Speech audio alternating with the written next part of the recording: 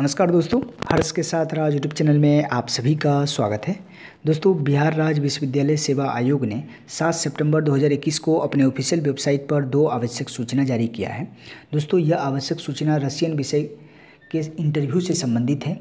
दोस्तों, आप सभी जानते हैं कि पिछले नोटिस में रशियन विषय के इंटरव्यू की नोटिस जो जारी की गई थी, उसमें क्वालिफाइड और डिसक्वालीफाइड छात्रों के लिस्ट जारी किए गए थे। लेकिन डिस्क्वालीफाइड छात्रों को एक मौका दिया गया था। अगर उन्हें कोई आपत्ति लगता है तो उन्हें आपत्ति दर्ज कराने के लिए 28 अगस्त से लेकर 5 सितंबर के बीच जो है समय दिया गया था। तो आप यहाँ पर देखें, निर्धारित तिथि और समय में दो अभ्यर्थियों द्वारा जो है आपत्ति समर्पित की गई आयोग में और आयोग जो है विचार कर निम्नवत रूप से निर्णय दिया है। तो आप यहाँ पर देख सकते हैं, दो छात्रों के नाम के साथ उसके यू आई नंबर भी दिए हैं और आयोग का जो निर्णय है, क्या रहा है? अस्वीकृत किया गया है, दोनों ही छात्रों का।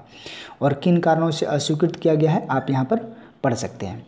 दोस्तों, अब यहाँ पर मैं बता देता हूँ, रशियन विषय से संबंधित ही है कि टोटल जो कुल पदों की संख्या है रशियन विषय में, तीन है और आठ छात्रों को जो है, इंटरव्यू के लिए बुलाया गया है। तो आप यहाँ पर देख सकते हैं, सभी आठों छात्रों के जो है यूआईडी नंबर यहाँ पर दिया गया है।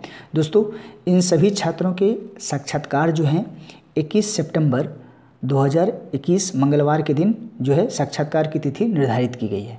तो दोस्तों, आप जो भी छात्र सेलेक्ट हुए हैं, वो सारे डॉक्यूमेंट्स वहाँ पर ले जाएँगे। तो दोस्तों, उम्मीद करता हूँ आपको ये जानकारी अच्छी लगी होगी। इस चैनल पर बने रहें। थैंक यू धन्यवाद।